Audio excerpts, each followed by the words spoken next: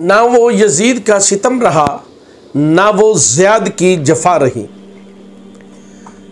कामयाबी से बड़ी चीज़ भी जो अपना वजूद इस दुनिया में रखती है, वो अजमत है। कामयाबी से भी जो बड़ी चीज़ है, जो अपना वजूद रखती है, वो अजमत है। अच्छा कामयाबी क्या है? कामयाबी किसी शदीद ख्वाहिश का वाक्य हो जाना। या किसी शदीद ख्वाहिश का नतीजा है कामयाबी। और अजमत मजमुआ है। अजमत मजबूआ है। अहमियत का, मकबूलियत का, ताकत और कामयाबी का। कामयाबी तो सिर्फ़ एक चीज़ है ना। अजमत मजमुआ है अहमियत का। अजमत इस मजमुए में अहमियत पाई जाती है, इसमें मकबूलियत पाई जाती है, शोहरत पाई जाती है और इसमें ताकत और कामयाबी है। ये इंसान को अजीम बनाते हैं। अजमत नतीजा है बेनियाजी का। कामयाबी नतीजा है किसी शदीद ख्वाहिश का। और अजमत, नतीजा है, इन ख्वाहिशात से बेनियाजी का। अजमत, इन ख्वाहिशात से बेनियाजी का नतीजा है। मेरा हुसैन अजीम था। वो अजमत वाला था। अजमत बड़ी है कामयाबी से। कामयाबी। चूँकि एक नतीजा है शदीद तरीन ख्वाहिश का और हर ख्वाहिश पूरी होकर या ना पूरी होकर मर जाती है, लेकिन मरने से पहले अगली ख्वाहिश को जन्म दे जाती है। और लाजमी नहीं कि एक ख्वाहिश पूरी हो तो वो कामयाबी है, नतीजा कामयाबी है। और लाजमी नहीं कि उस कामयाब ख्वाहिश से जन्म लेने वाली अगली ख्वाहिश भी कामयाब हो। वो नाकामी भी हो सकती है। कामयाबी नाकामी को भी जन्म दे सकती है। लेकिन अजमत हमेशा दायमी कामयाबी को और कामयाबियों को जन्म देती रहती है। अजमत एक बसीरत है। अजमत एक बसीरत पैदा करती है। एक बसीरत पैदा करती है। और यह बसीरत विजन एक पुल है। माजी से हाल में आने का विजन एक पुल है। विजन बसीरत एक पुल है।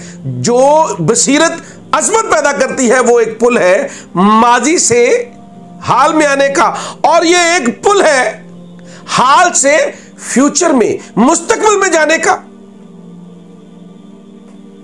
अजमत कामयाबी से बहुत बड़ी और बहुत आगे की चीज़ है, बहुत ऊपर की चीज़ है। अजमत, हमेशा तासर और तासीर रखती है आइंदा आने वाली नस्लों के लिए। क्यों?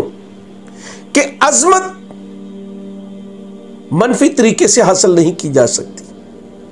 अजमत हासिल करने का तरीका, रास्ता और वास्ता हमेशा मुस्बत होता है।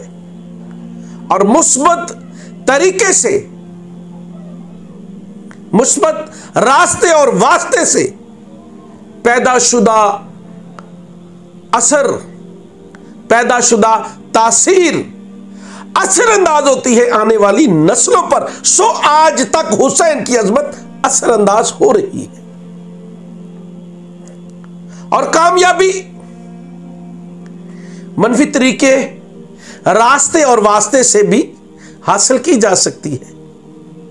और ये मतलब मुस्बत तरीके से भी कामयाबी हासिल की जा सकती है। मुस्बत रास्ते और वास्ते से भी कामयाबी हासिल की जा सकती है। लेकिन इसके हासिल करने के लिए सिर्फ़ एक रास्ता मुतयन नहीं, ये मनफी रास्ते से भी, मनफी वास्ते से भी और मनफी तरीके से भी हासिल की जा सकती है। इसलिए यह ज़रूरी नहीं कि इसमें तासीर और असर पैदा हो जो आने वाली नस्लों को मुतासर करे। अजमत आगे की चीज़ है, ऊपर की चीज़ है, बहुत बुलंदी वाली चीज़ है, कामयाबी से। बल्कि अजमत कुल है और कामयाबी अजमत का जुज है। अजमत हमेशा मुस्बत सोच पैदा करती है, या अजमत हमेशा मुस्बत सोच से पैदा होती है। अजमत हमेशा मुस्बत और अच्छी, अच्छे रवैये से पैदा होती है। और अजमत ही हमेशा अच्छे और मुस्बत रवैये पैदा करती है। अजमत हमेशा मुस्बत और बेहतरीन करदार से पैदा होती है। और अजमत ही हमेशा मुस्बत और बेहतरीन करदार पैदा करती है। यही वजह है। कि करदार का असर, अजमत का असर है।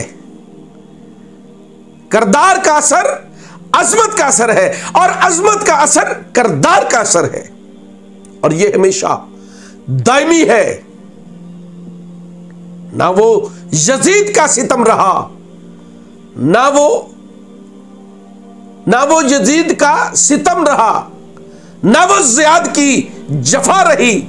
बस रहा तो नाम हुसैन का, जिसे ज़िंदा रखती है हर करबला।